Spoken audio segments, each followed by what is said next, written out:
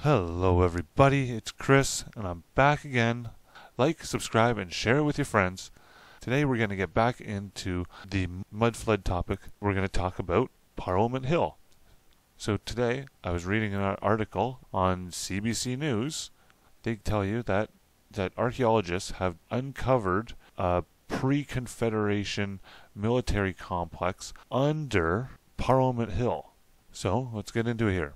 Buried beneath the flowers, trees, and statues dotting the grounds of Parliament Hill are the remains of a military complex that predate both Confederation and the founding of Ottawa. An archaeology team has been working since April to uncover ruins from the complex as part of an ongoing renovations to Central Block. What they have uncovered so far barracks, an old guardhouse, and what was the former city of Bytown's first jailhouse is just a small tidbit of what may be to come. Pretty interesting, right? So there's a whole complex underneath Parliament Hill. Like it's been mud flooded, right? It's all flooded out. Like look at this. They're ex- excavating all these walls underneath it, right? The complex contains the remnants what existed on Parliament Hill before the central block was built. During the time the Rideau Canal was first being constructed. So these things were even here during the first time even the canal was even being what I believe is probably uncovered, not built, but dug out from the mud flood. But I haven't really looked into the, the pictures that they have of the actual construction.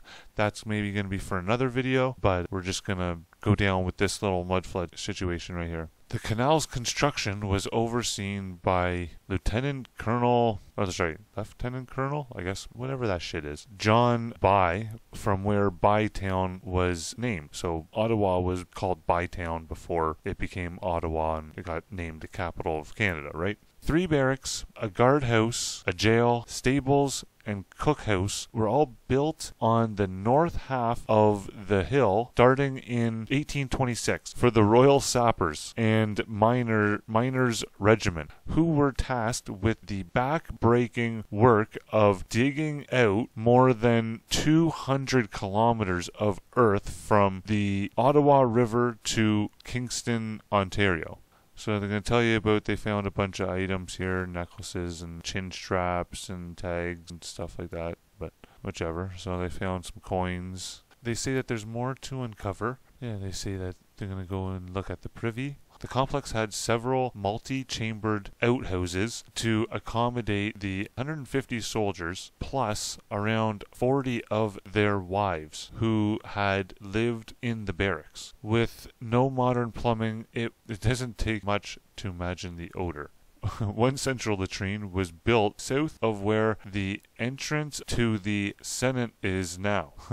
Isn't that a little fitting, huh? Here's a map of Bytown, or what they are calling Bytown, with the canal already there. Bam. And this is what they're saying was before the central block was put in. Here it's called Barracks Hill. Yeah, so these are all buildings that were supposed to be on Parliament Hill before it was Parliament Hill. Alright, so this is what the Parliament Hill looks like now. So it looks like it's pretty much all these buildings here, like uh, right in a line here. It's couldn't quite get this map straight, so we'll just leave it like that. And uh, just imagine it crooked a little. so yeah, so we have this line here is symbolizing something. Was that a road? Is that maybe an existing building? Maybe the parliament buildings were already there? I don't know. Let's see what's going on, right? Yeah, they got these um it's basically this this road looks like it's right here and they got the canal that goes down. That's but I found this image. So sorry I can't find a better copy of this picture, but we'll just roll with this one that we have. So this is upside down to what the two maps that we were just looking at. So this is so this is the shoreline here, and then this is the uh, the canal that runs down that way, right? So it's uh, just this way, just flipped around. Now the canal now runs that way, and this is the shoreline here. And so yeah, but if you take a look at this one, it's a star fort. So they got a star fort in front of whatever's here, the Parliament buildings. We're gonna jump back here. That should be all up in here, right? And there's really nothing there now. No, no.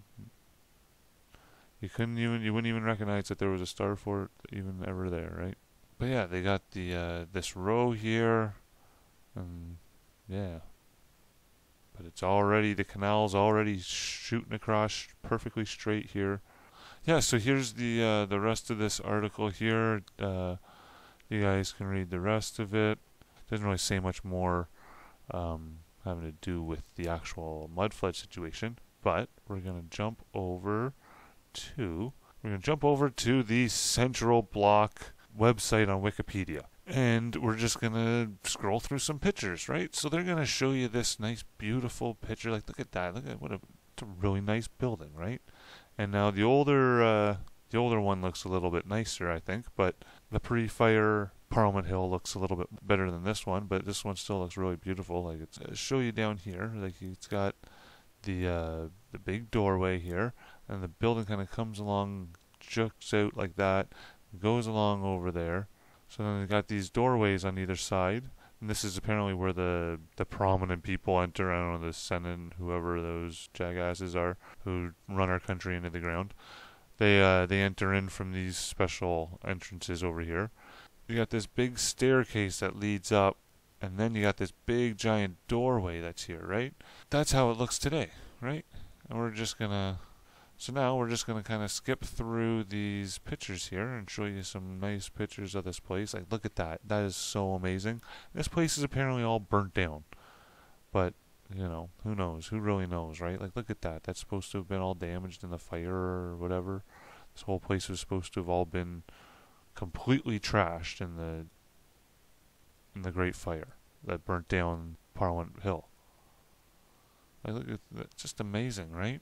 This uh, ceiling here has some very interesting pictures to it. Kick over to this one. So this guy's got it. So all you uh, people who are on the Tartarian trip, what's that right there? Oh, a griffin? Huh? A griffin? Chilling in Canada? Pretty interesting, right? He's got the harp stained glass. Some look at that, man. Wow, look at those giant freaking archways and windows and giant doors and there's some real interesting little pictures in this uh, in this pattern here. I think it's a wall or something. I'm not quite sure, or ceiling or something. I don't know. So then we have this picture. So this is the picture before it burnt down. Like, look at that. Look how crazy that is. That's some Antiquitech right there, right?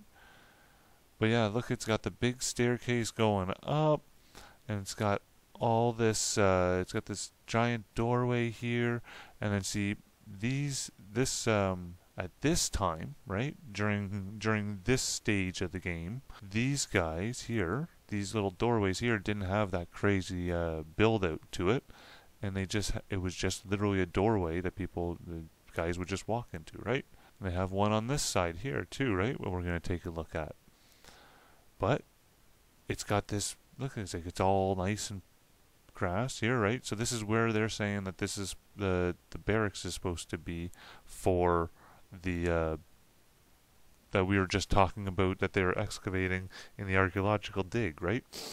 So it's all underneath here, right? And then we have this huge staircase. I know I keep saying this, but I'm, I have to make an emphasis on this. We got this huge staircase coming up, then this giant doorway, right? And these two little doors over here that are in between these two little, whatever you want to call these things, they'll build out the two little corners here.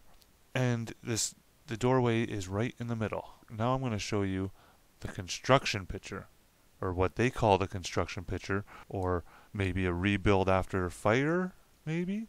But look at this picture, right? Now, is this picture not very interesting? No? So now look at the size of this door and we're halfway up of this halfway up in this door is what? That's mud. it's all dirt, right? It's all dirt and mud. There's no stairs going down in front of the place, right? If you look around here and you follow it out to the the first little corner here, and then you come across here to the next corner, look, you, is that the doorway? Maybe?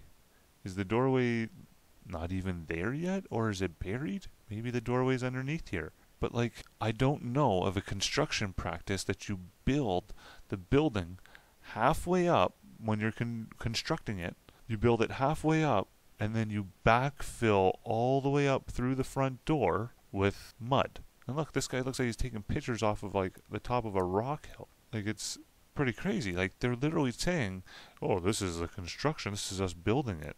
I think this is you guys rebuilding it after you guys burnt it all down and destroyed it. Or even these guys, these things could even be, who knows? It could even be photoshopped. What's with the sky? How come there's no clouds in the sky? Like there's no no clouds, no definition. It's all just a blank white background. It's real interesting, right? So who knows if they're even constructing this top part here. But what I can tell you right now is they're sure as hell about to start digging it out from the mud flood. And they just come in and built their little shanties on top of it. This little shanty looks like it could have been even half in the mud flood as when, when that happened too. But probably not, because the mud flood would have destroyed all everything wood. But it's all these big stone blocks that stay where they were. All the stone masonry stays right where it is, and the mud just kind of fills in around it. But all the wood stuff gets destroyed. Right there, bam, mud flood. Boom. I don't know how else you can describe that. Somebody out there has to know of a construction practice, if this is not mud flood, that they do this, where they backfill it. And they can inform us with, show us a video about it, of them building half of the structure and then backfilling it up with mud. Little food for thought about the Parliament Hill. And then all what's in front of it here would have been under the mud too as well. Everything that was a maybe a star fort or more buildings that they're just calling barracks are underneath this front part here where the statues are. And the trees and the flowers are all right here, right? And that's where all the the barracks is and the stables and the cookhouse and the latrines and all that. That's where all this is, is all buried under this. So that's what they're they're just calling those structures.